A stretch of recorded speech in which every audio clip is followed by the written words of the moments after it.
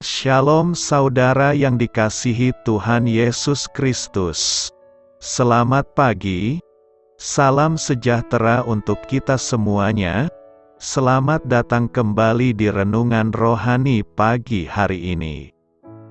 Semoga saudara yang terkasih dalam keadaan sehat selalu. Kiranya damai dan sukacita Roh Kudus melimpah di dalam hati dan kehidupan saudara semua. Sebelum kita mendengarkan renungan firman Tuhan, marilah sama-sama kita berdoa. Bapa kami di dalam kerajaan sorga, Bapa yang kami muliakan di dalam nama Tuhan Yesus Kristus, kami mengucap syukur Bapa.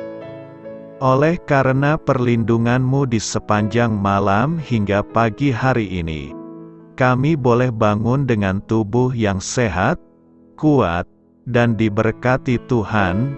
Pada pagi hari ini Bapa, kami mau mendengarkan firman-Mu.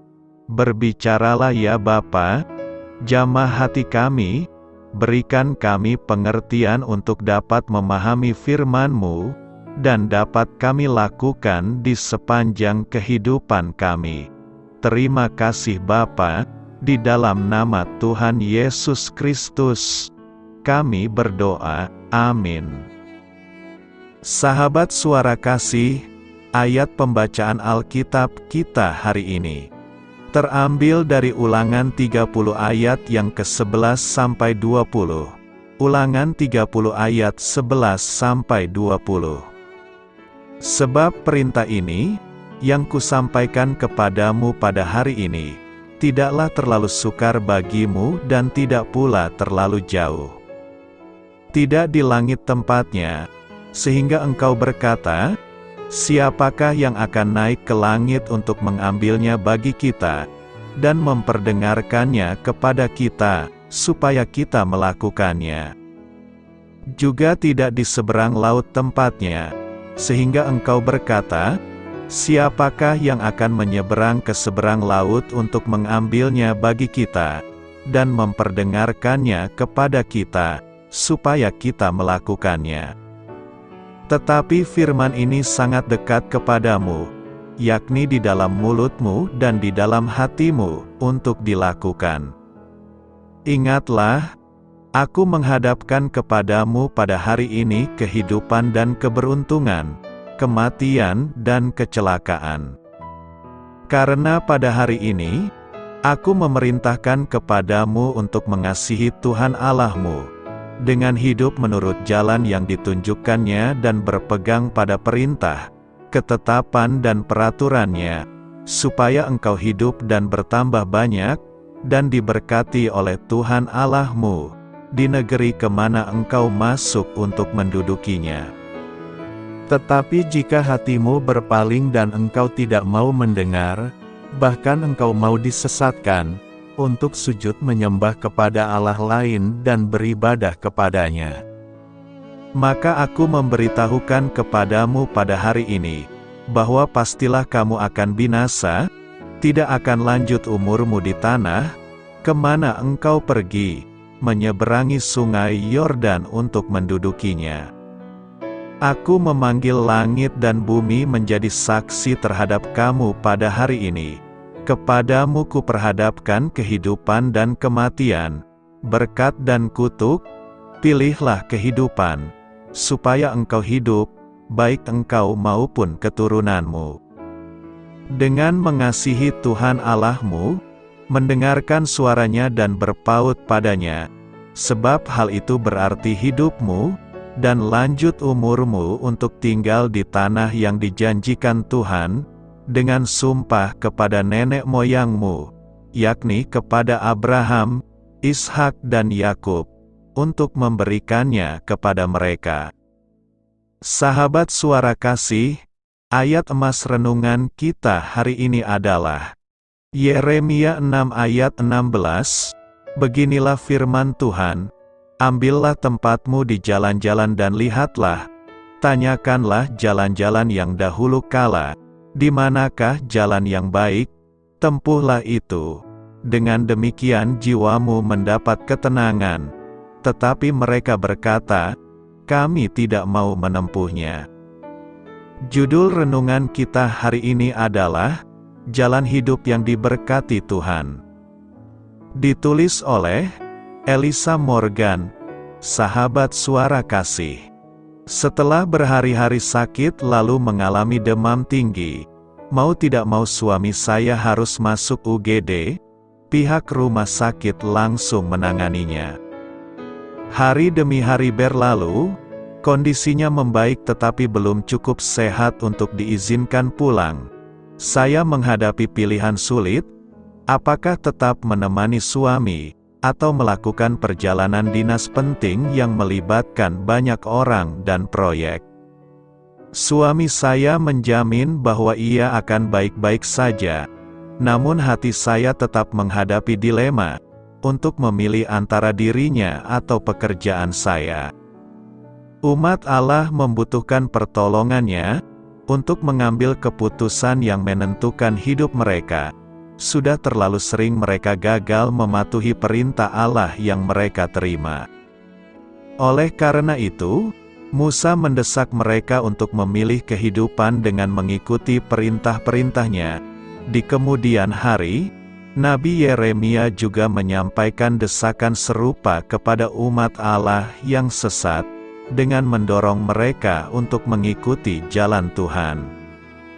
Berdirilah di persimpangan-persimpangan jalan, dan perhatikanlah baik-baik, tanyakanlah jalan-jalan yang dahulu kala, dan mana yang terbaik di antaranya, ikutilah jalan itu, jalan-jalan yang sejak dahulu tercatat dalam kitab suci, dan pernyataan Allah di masa lalu dapat mengarahkan langkah kita. Sahabat suara kasih, dalam hal apa Anda membutuhkan arahannya hari ini? Bagaimana Allah dapat menyatakan dirinya kepada Anda? Marilah kita renungkan, saya membayangkan diri saya berada di persimpangan jalan, dan menerapkan petunjuk yang dijabarkan oleh Yeremia, saya bergumul, saya dibutuhkan oleh suami maupun pekerjaan saya. Tak lama setelah itu, atasan saya menelepon dan mendorong saya untuk tetap tinggal di rumah.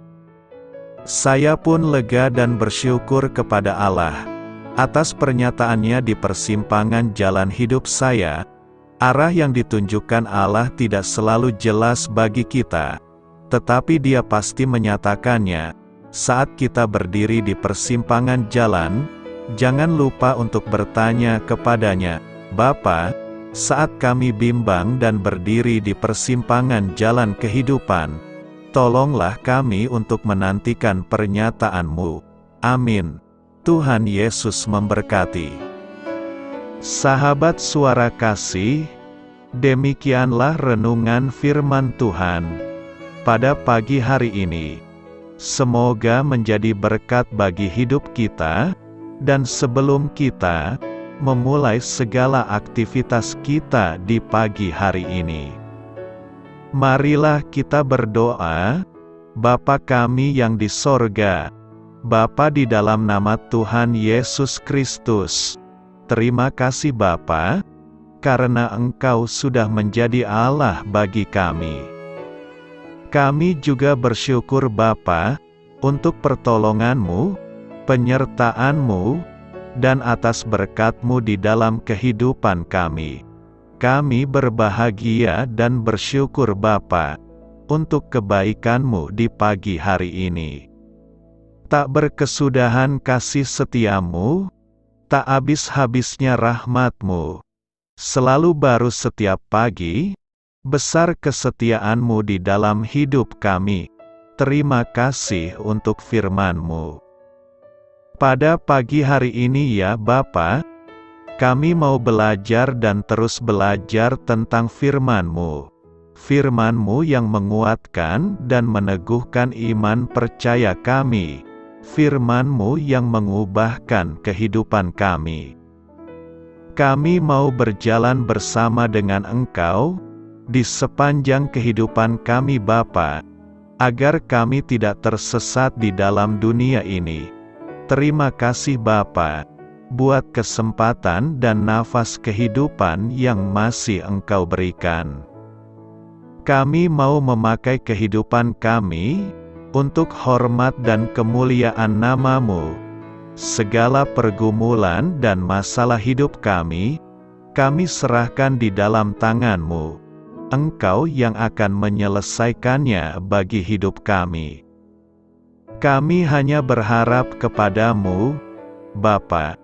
Hamba berdoa untuk saudara-saudara kami, yang sudah mendengarkan renungan firman-Mu pada pagi hari ini, yang saat ini sedang mengalami sakit penyakit, pergumulan, masalah, kebutuhan ekonomi. Kiranya Engkau yang jamah, sembuhkan dan pulihkan, berkati juga perekonomian mereka, serta berikan jalan keluar di setiap pergumulan masalah yang mereka sedang hadapi. Dan ajarlah kami Bapa, untuk selalu berharap dan percaya sepenuhnya kepada Tuhan Yesus. Kiranya Engkau yang terus memberkati kehidupan kami, keluarga kami, dan sanak saudara kami daerah tempat tinggal kami, bangsa dan negara kami, pemerintah-pemerintah kami, biarlah semuanya dalam perlindunganmu Bapa, dan jadilah sesuai dengan kehendakmu yang terbaik, di dalam kehidupan kami. Dan pada pagi hari ini ya Bapa, kami mau berterima kasih, buat perlindunganmu di sepanjang malam yang telah kami lewati. Pagi hari ini, kami akan memulai aktivitas kami sebagaimana mestinya. Kami yakin dan percaya, perlindunganmu tetap ada di dalam hidup kami, dan juga di sepanjang hari yang akan kami lewati ini. Terima kasih Bapak. Inilah yang menjadi doa dan permohonan kami. Dalam nama Tuhan Yesus Kristus, kami berdoa. Amin.